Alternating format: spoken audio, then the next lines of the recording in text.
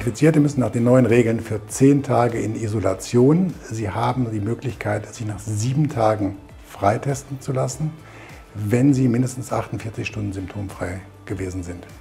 Für Kontaktpersonen, die mit Infizierten zusammenleben, gelten die gleichen Regeln wie für Kontaktpersonen, die nicht mit Infizierten zusammenleben.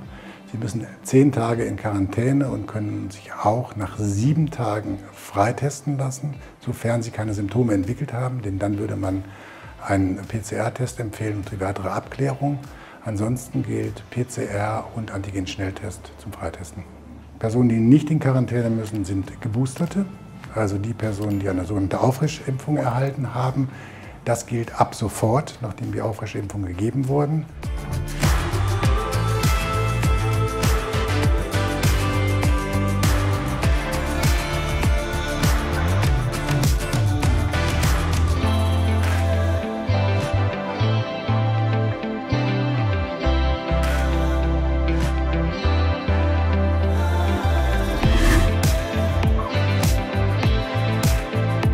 Omikron-Variante zeichnet sich dadurch aus, dass sie besonders infektiös ist. Das heißt, es werden mehr Leute angesteckt, als das bei den früheren Varianten auch bei Delta der Fall war.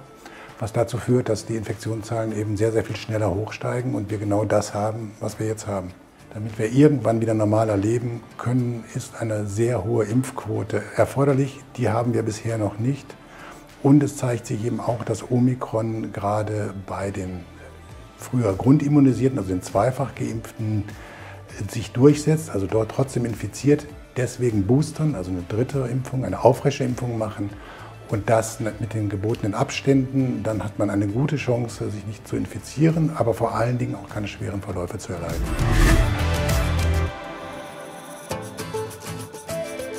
Das Virus verändert sich so oder so auf natürliche Weise. Das Impfen trägt dazu nicht bei. Im Gegenteil ist das Impfen eine Möglichkeit, die Verbreitung des Virus zu verhindern und damit unter Umständen auch das Entstehen weiterer Varianten zu vermeiden.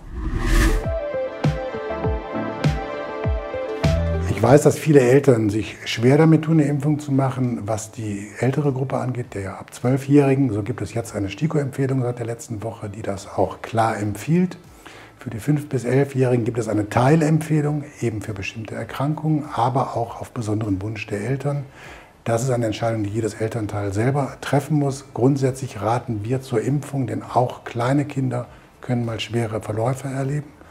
Und zum anderen ist es das Risiko, dass sie bei den sehr, sehr hohen Inzidenzen dieser Altersgruppe Einträge in die Familie, bei den Großeltern etc. machen, sodass da äh, Erkrankungen innerhalb des Familiensystems entstehen können.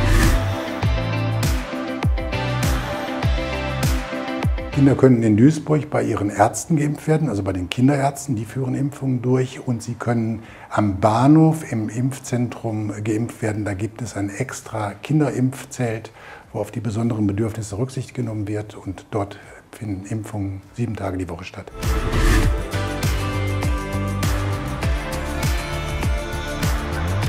Wir vertreten die Meinung, dass jeder, der dorthin kommt, auch geimpft werden kann. Bisher haben wir keine Probleme mit der Menge des Impfstoffs gehabt, sodass wir das erstmal weiter fortsetzen werden. Nach derzeitigem Stand nein, es gibt keine Empfehlungen dafür. Das wird sicherlich weiter wissenschaftlich äh, untersucht werden. Im Moment gilt für 5- bis 11-Jährige, außer unter ganz besonderen Bedingungen und besonderen Erkrankungsformen, gibt es keine Boosterimpfung.